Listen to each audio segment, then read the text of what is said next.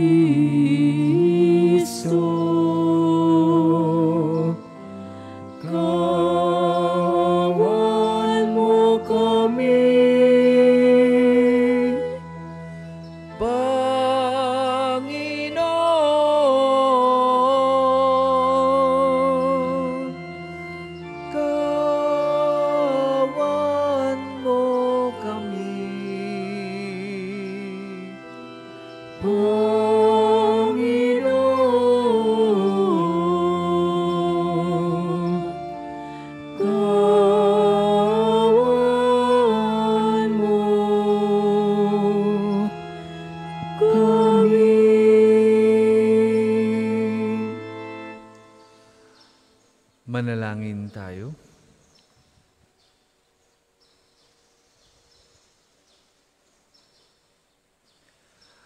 Ama naming makapangyarihan, lakas ka ng walang inaasahan kundi ikaw. Ang pagluhog namin ay iyong pagbigyan sapagkat kami mga tao lamang. Napawang mahihina kapag iyong iniwanan. Kaya naman kami lagi mong tulungan upang sa pagtupad ng iyong mga kautusan, ikaw ay aming mabigyang kasiyahan sa aming iniisip at ginagawa araw-araw sa pamamagitan ng Iso Kristo kasama ng Espiritu Santo, magpasawalang hanggan. Amen.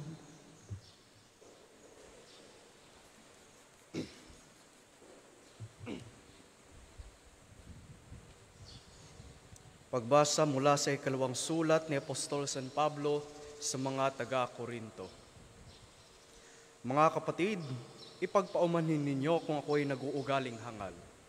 Nakadarama ako ng makadiyos na panibugho, tulad kayo ng isang malinis na dalagang ipinagkipag, ipin, ipinagkipagtipan ko sa isang lalaki kay Kristo.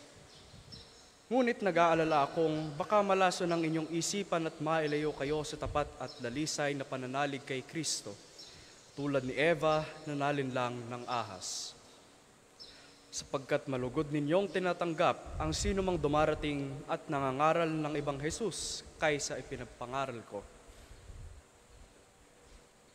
Tinatanggap ninyo ang Espiritu at aral na iba sa itinuturo ko sa inyo. Palagay ko na may hindi ako huli sa mga magagaling na apostol na iyon.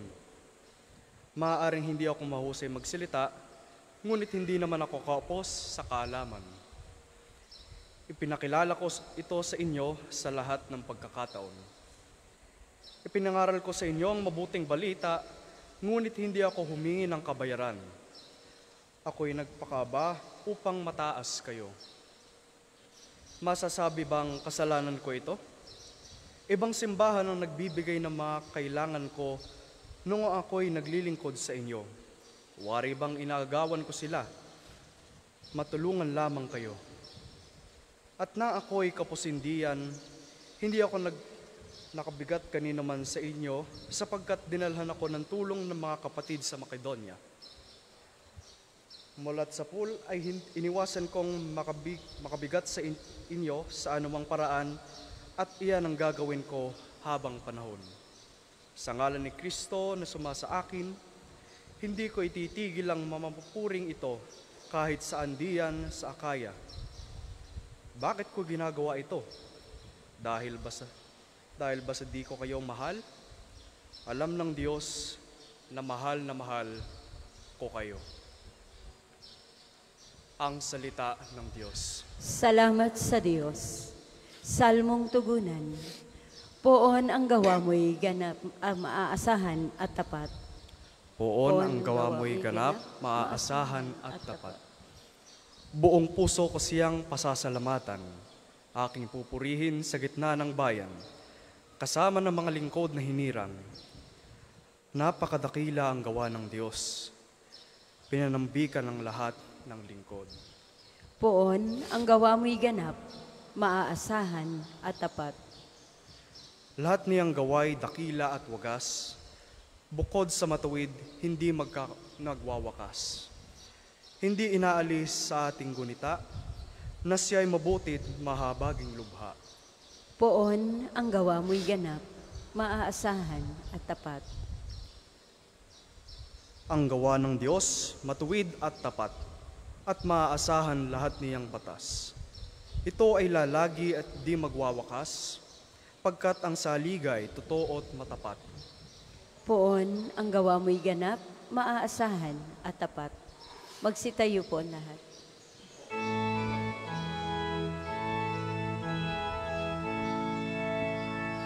Alleluia,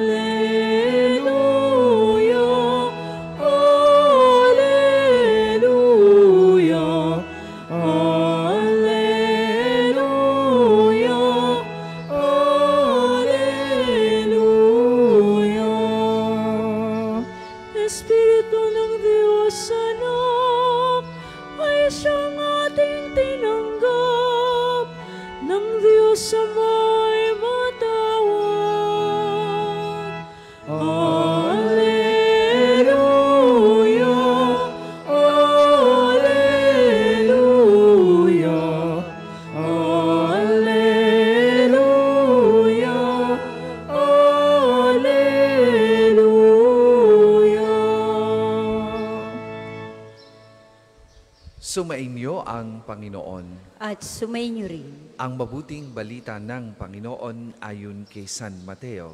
papuri sa iyo, O Panginoon. Noong panahong yon, sinabi ni Jesus sa kanyang mga alagad, Sa pananalangin ninyo'y huwag kayong gagamit ng napakaraming salita gaya ng ginagawa ng mga hintil. Ang akala nila'y pakikinggan sila ng Diyos dahil sa dami ng kanilang salita. Huwag ninyo silang tutularan sapagkat alam na ng inyong Ama ang inyong kinakailangan bago pa ninyo hingin sa Kanya. Ganito kayo mananalangin. Ama naming nasa langit, sambahin nawa ang pangalan mo. Ikaw nawa ang maghari sa amin. Sundi nawa ang iyong kalooban. Dito sa lupa tulad ng nasa langit. Bigyan mo kami ng pagkain kailangan namin sa araw na ito at patawarin mo kami sa aming mga kasalanan. Tulad ng aming pagpapatawad sa mga nagkakasala sa amin at huwag mo kaming iharap sa mahigpit na pagsubok kundi ilayo mo kami sa masama, sapagkat iyo ang kaharian at ang kapangyarihan at ang kapurihan magpakailanman.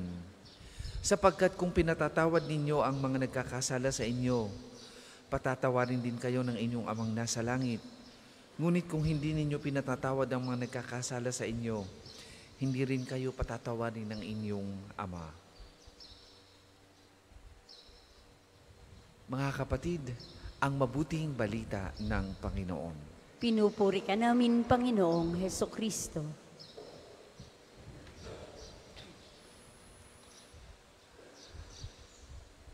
Bahagi po ng buhay natin bilang Kristiyano ang pananalangin.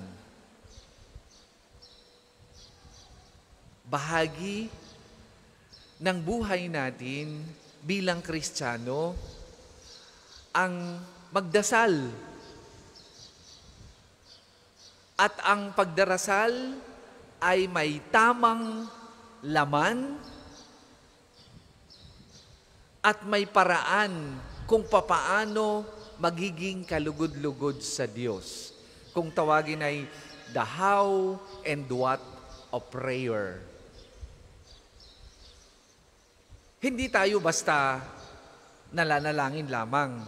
Ang pananalangin ng binabasta-basta natin ay tanda ng pagkawala ng pagkilala, relasyon at respeto sa Panginoon.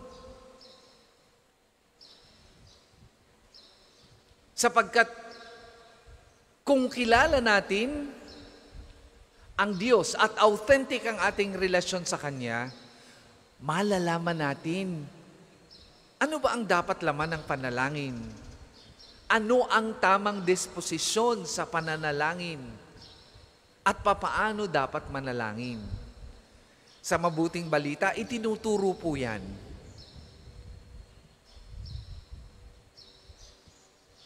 Number one, dapat nating malaman na ang pananalangin katulad ng iba pang biyaya is a gift. At dahil po siya sa isang biyaya, dapat araw-araw hinihingi natin sa Diyos, Panginoon, turuan mo po akong manalangin ng kalugod-lugod sa iyo. Kasi may panalangin na hindi kalugod-lugod sa Diyos dahil siya ay makasarili. Kapag tayo'y nananalangin at lagi lang nating iniisip ay kung ano yung pangangailangan natin araw-araw, wala nang iba, makasarili ang pananalangin. Ano ba yung nasa likod ng pananalangin bilang isang biyaya? Marunong itong magpaubaya sa pagkilos ng Diyos sa buhay natin.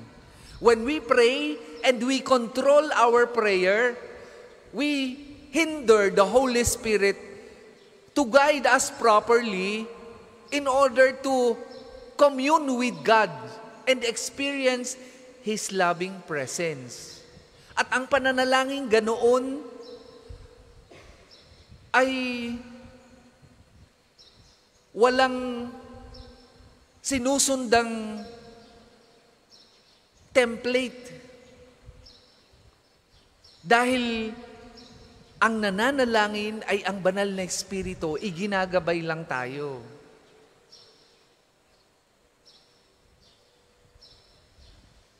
Ano ang laman ng ating panalangin?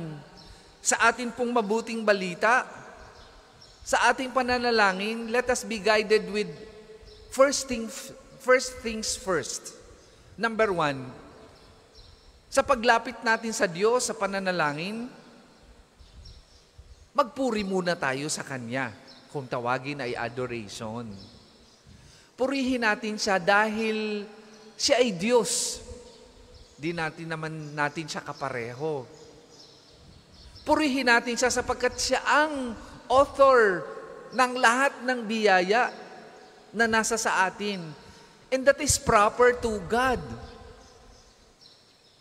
Pagkatapos natin siyang purihin, huwag nating kakalimutang magsisi sa ating mga kasalanan dahil araw-araw nagkakasala tayo. Akong tawagin ay contrition. Pagkatapos niyan, matuto tayong magpasalamat sa Diyos for sustaining our life. Dahil kung hindi niyan ginusto, kung hindi yan ginusto ng Diyos, kung gusto ng Diyos na kuhanin ang ating buhay, anytime pwedeng pwede niya, niyang gawin. Pero dahil sa kanyang pagmamahal sa atin, He continues to sustain our life, our existence. And we owe our life to Him. And that deserves thanksgiving. Salamat, Panginoon, dahil hindi mo hinayaang maputol ka agad ang aking buhay para maranasan ang ganda ng mundo. Isa pa lamang yan sa dapat nating ipagpapasalamat. Marami pan biyaya na dapat nating ipagpasalamat sa Diyos. At kahuli-hulihan, saka pa lang tayo hihingi sa Diyos. Kung minsan, at sana naman ay hindi, nandoon tayo sa huli. At doon na lang tayo lagi. Pagluluhod tayo, hingi na lang tayo ng hingi. Hindi na tayo na nakakalimot na tayong magpasalamat, magpuri at magsisi sa ating mga kasalanan. Sabi naman ni Lord, ang kapal.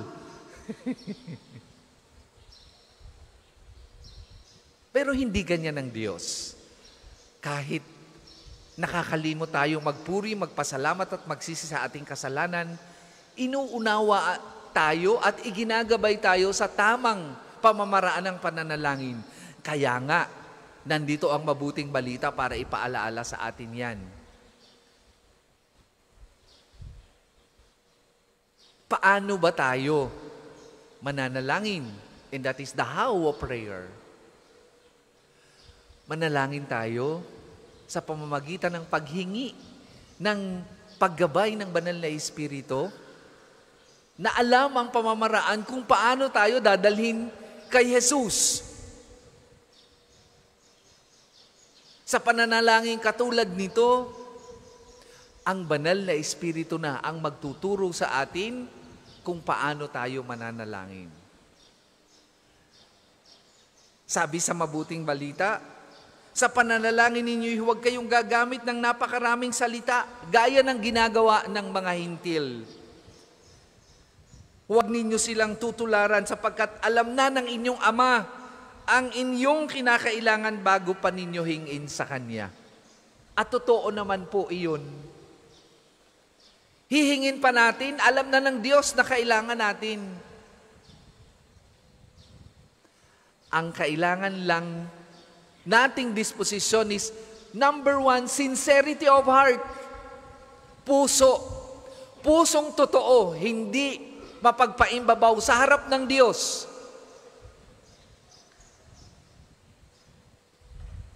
And number two, kababaan ng loob. Ito ang mga pamamaraan kung paano tayo mananalangin at ang tamang laman ng ating pananalangin o ang mga ito ang pamamaraan at ang tamang laman ng ating pananalangin. Sana mga kapatid, lumago pa ang ating pakikipagrelasyon sa Diyos. Hindi lamang sapagkat gumagawa tayo ng mabuti sa kapwa, kundi lalo't higit sapagkat nananalangin tayo ng tama na angkop para sa Diyos.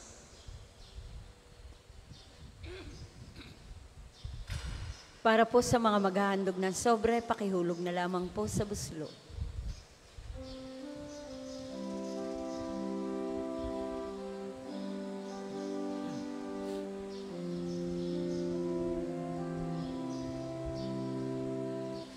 Kunin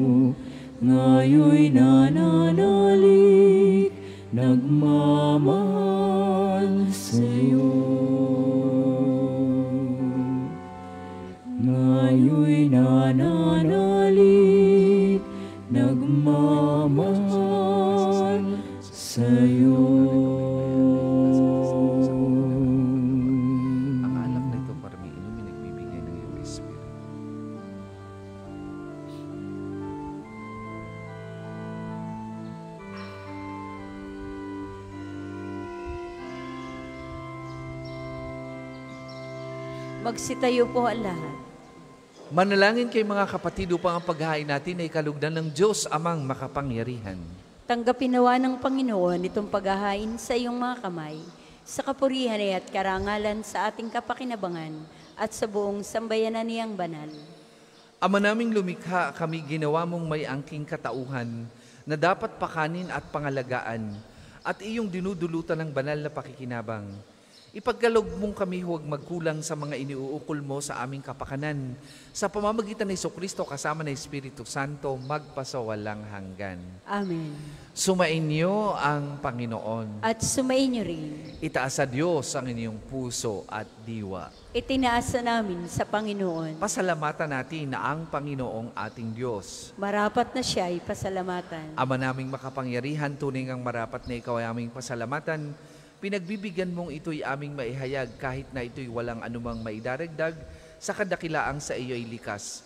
Sa pagpupuri namin ang nakikinabang ay kami ring iyong pinakikihirapan sa magitan ng, an- ng iyong anak na minamahal. Kaya kaisa ng mga anghel na nagsisiawit ng papuri sa iyo, nang walang humpay sa kalangitan, kami nagbubunyi sa iyong kadakilaan.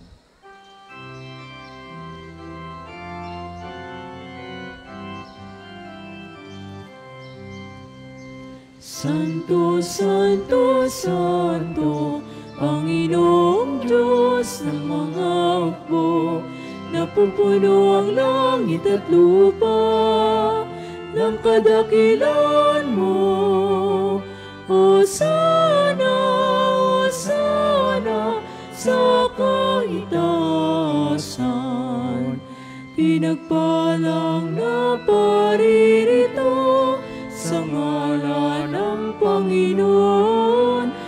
O sana, sa kaitaasan.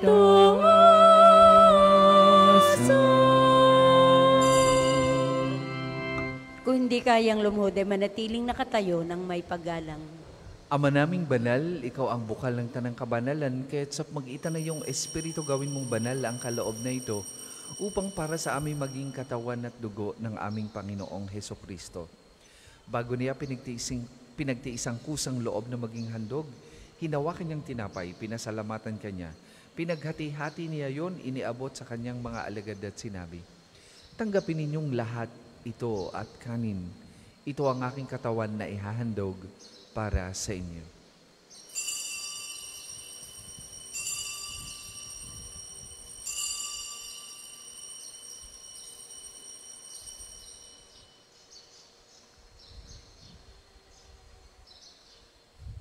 Gayun din naman nung matapos ang hapunan, hinawakan niyang kalis, muli kanyang pinasalamatan. Iniabot niya ang kalis sa kanyang mga alagad at sinabi, Tanggapin ninyong lahat ito at inumin. Ito ang kalis ng aking dugo, ng bago at walang hanggang tipan. Ang aking dugo na ibubuhos para sa inyo at para sa lahat. Sa ikapagpapatawad ng mga kasalanan, gawin ninyo ito sa pag-alaala sa akin.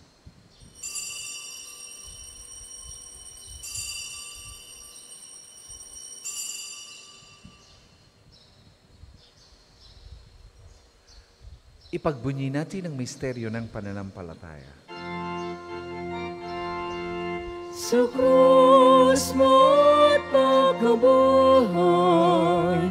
kami natubos mong tunay.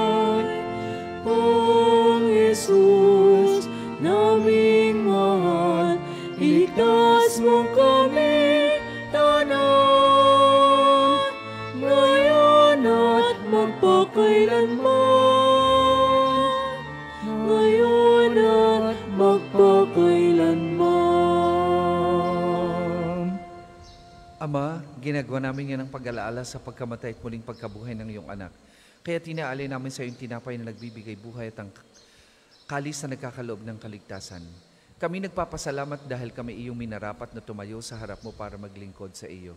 Sinasamo namin kami magsasalo-salo sa katawan at dugo ni Kristo ay mabuklod sa pagkakaisa sa pamamagitan ng Espiritu Santo.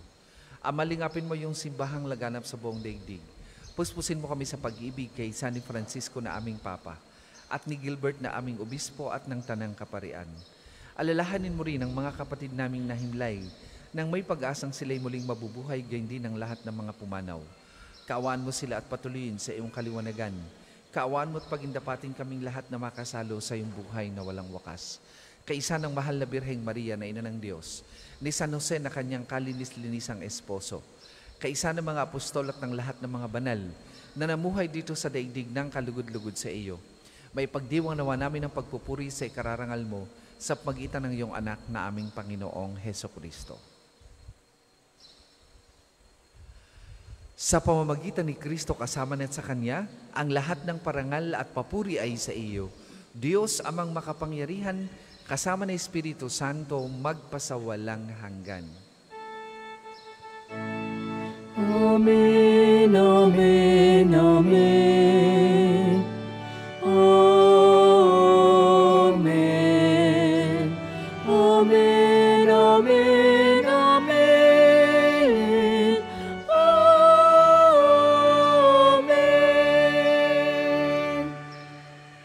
Sa tagubili ng mga nakagagaling na utos at turo ni Jesus na Panginoon natin at Diyos, ipahayag po natin ng lakas loob. Ama namin, sumasalangit ka, sambahin ang ngalan mo. Mapasamin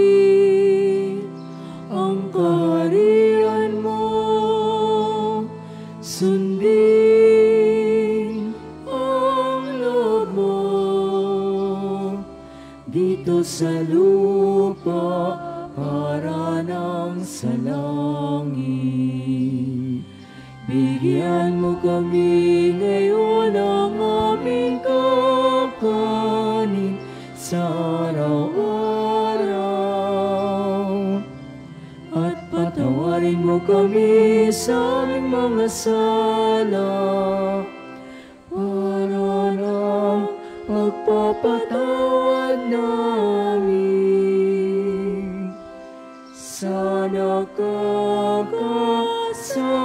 kakasala sa amin. At huwag mo kami ipahintulot sa tukso at iadiya mo kami. Sa lahat ng masama. Hinihiling namin kami iadya sa lahat ng masama, pagkalooban ng kapayapaan araw-araw, iligtas sa kasalanan at iliw sa lahat ng kapahamakan, samantalang aming pinananabikan ang dakilang araw ng pagpapahayag ng tagapagligtas naming si Heso Kristo. sapagkat iyong kaharian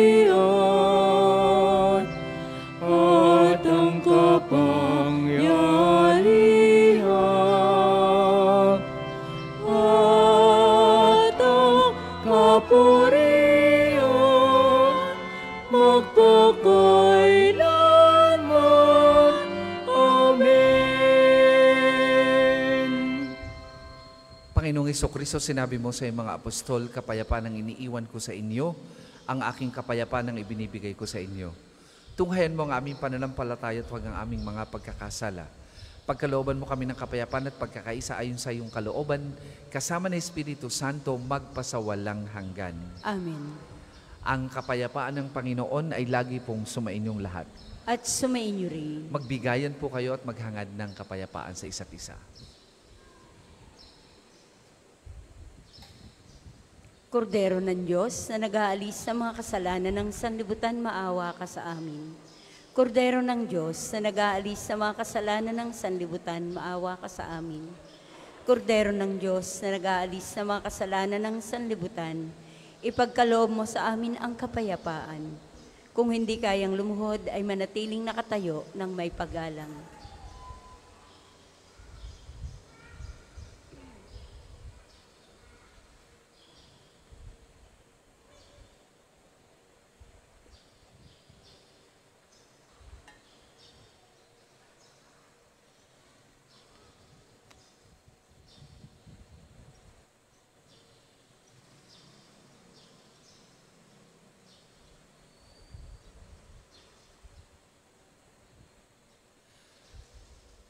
Mga kapatid, ito ang kordero ng Diyos.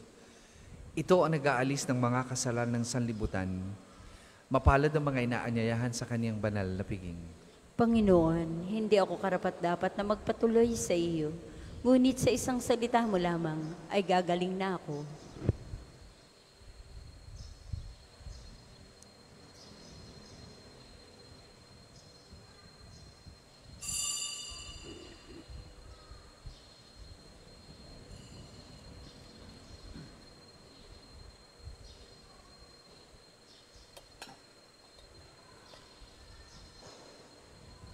Ang katawan ni Kristo, Amen.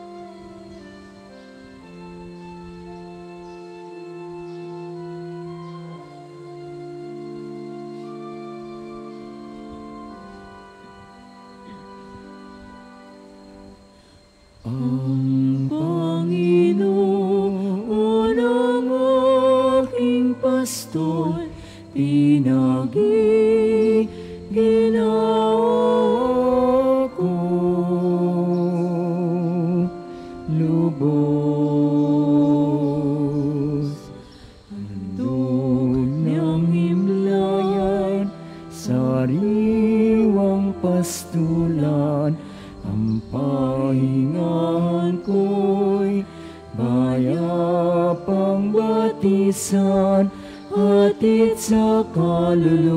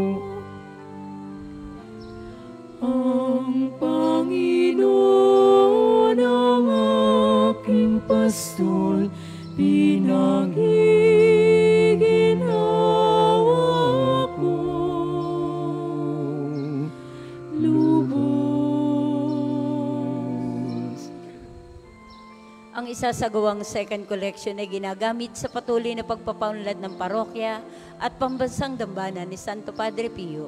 Salamat po sa inyong handog.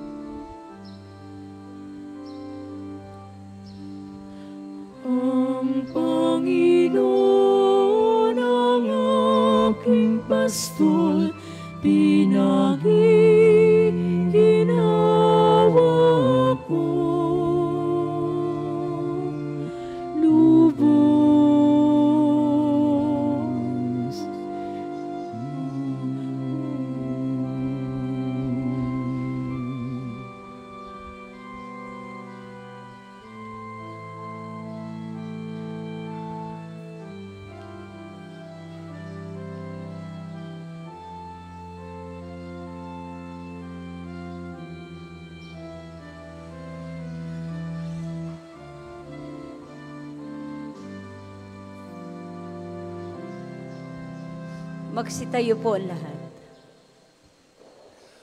Manalangin tayo.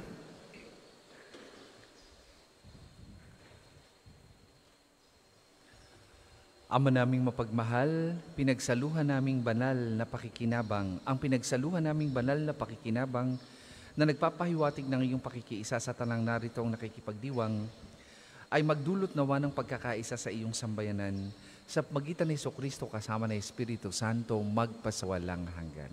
Amen. Panalangin ng pagtitiwala kay Santo Padre Pio, tayo pong lahat. Padre Pio, taga Pietrelcina, Mongheng Banal, Pintakasing Santo ng Milenyong Kasalukuyan, gabay namin sa pagtahak sa landasing makalangit, takbuhan sa pangangailangan, huwaran ng pagtitiis. Sa iyo namin inilalapit aming mga kagipitan. Sa iyo po ibinibilin kalusugan at kabuhayan.